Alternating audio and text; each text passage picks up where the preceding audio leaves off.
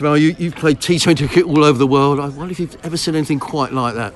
Uh, yeah, that's very. It's a very disappointing loss. Um, you know, we haven't haven't got together up in the changing room yet, but yeah, we should win that game ten times out of ten. Really, um, thought we half time came off with a, a, total we were happy of chasing, and then the way the first 10, uh, 10 overs went, twelve overs went. Uh, I thought Tommy Alsop batted beautifully, and yeah, we've we've got to we've got to see that game out, unfortunately, and um, yeah, it hurts. Did you, when you were sitting on the bench, could you sort of feel the tension? Was it beginning to build? Were people thinking we may be in a bit of trouble here, or? Not, not really. I think we were confident. You know, you, you, you assume that somebody's going to take ownership of that. Even, you know, even those guys down the order, myself included, you know, could have made a bit of a better fist of it.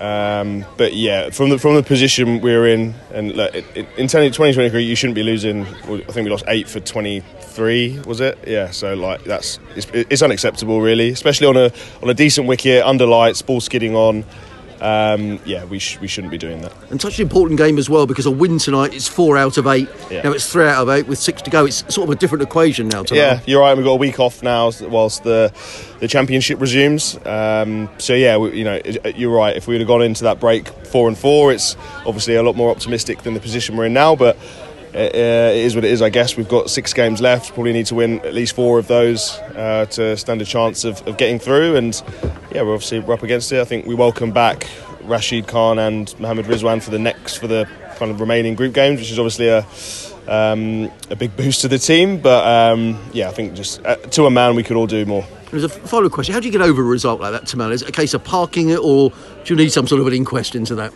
I think it's important to debrief it. I think I think everybody in that changing room will know that that was a poor uh, seven, eight overs there at the end. Um, it's hard to completely debrief it, as I said, because the guys travel to Cardiff tomorrow. They have a, a four-day game starting on Sunday. Um, it's, it, it's pretty self-explanatory. I, I, don't think you have to get too too into it, but as long as all the boys, you know, know kind of in, in their heart of hearts that that's you know unacceptable batting performance um, towards the end you know, we'll, hopefully we'll, we'll, bounce back next week at, at Essex.